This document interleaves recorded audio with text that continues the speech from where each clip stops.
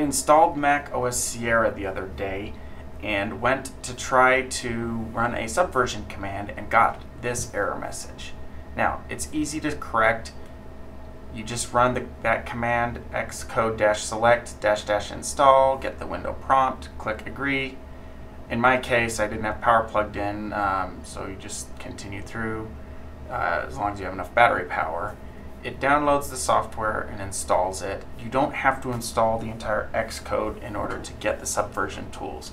And this will work for um, an upgrade of a Mac OS where it broke the, the Subversion command line clients, or if you've never had Subversion before, you can use the same command and go ahead and install the Subversion command line tools after I updated the Subversion command line tools, I tried to run an SVN up, and watch what happens. It gives me this error. Please see the SVN upgrade command. The working copy is too old to work with client versions. So I went all the way to the root of the trunk that I had checked out and ran the command svn upgrade.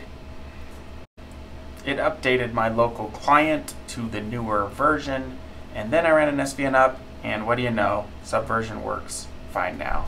Thanks for watching. Good luck either installing or fixing Subversion on your Mac.